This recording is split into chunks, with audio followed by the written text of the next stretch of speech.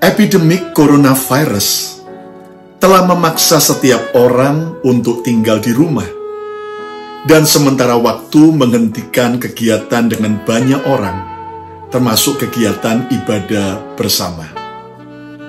Apakah itu tanda sebuah kemunduran dan tanda bahwa kita kurang beriman?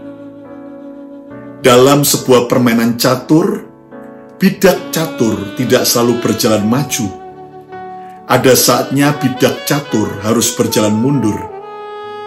Berjalan mundur bukan berarti tanda takut dan kalah, tetapi justru melakukan strategi dalam meraih kemenangan. Sebelum anak panah maju melesat mencapai sasaran, anak panah itu harus ditarik mundur dahulu ke belakang bersama dengan tali busur sampai waktunya siap untuk dilepaskan. Dalam pertandingan balap mobil Formula One, ada waktunya pembalap harus berhenti sebagai saat pergantian ban untuk bisa meneruskan pertandingan dengan lebih baik lagi.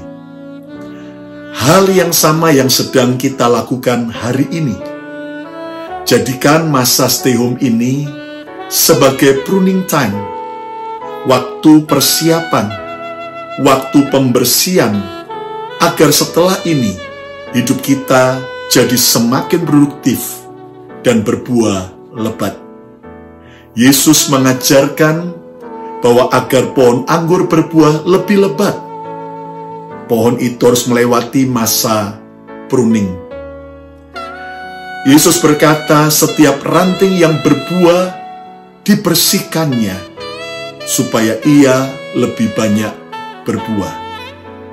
Jadikan masa stay home ini sebagai pruning time untuk memperkuat hubungan keluarga kita, memperkuat hubungan kita dengan Tuhan, meningkatkan gaya hidup yang sehat, istirahat yang cukup, serta belajar hal-hal berguna lebih baik lagi, agar setelah badai ini berlalu, hidup kita menjadi semakin produktif dan berbuah lebih lebat.